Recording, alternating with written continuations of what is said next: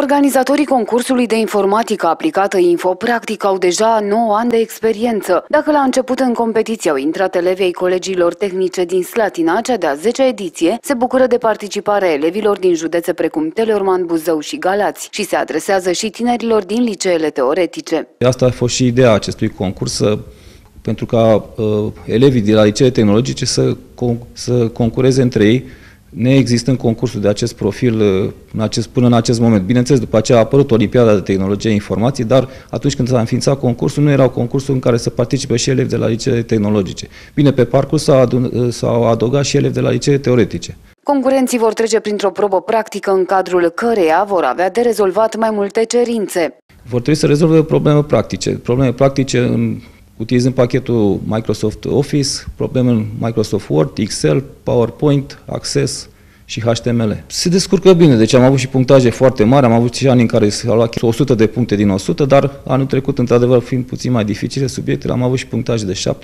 70-80 de puncte din 100. Subiectele vor fi diferențiate, se, va, se, va face, se vor face clasamente separate pentru liceele profil teoretic și profil tehnologic. Așteptăm o participare cât mai bogată. Tot acum se va desfășura și cea de-a cincea ediție a Simpozionului Național de Comunicări Științifice în domeniul informaticii. Concursul se va desfășura sâmbătă la Colegiul Tehnic Alexe Marin cu începere de la ora 9.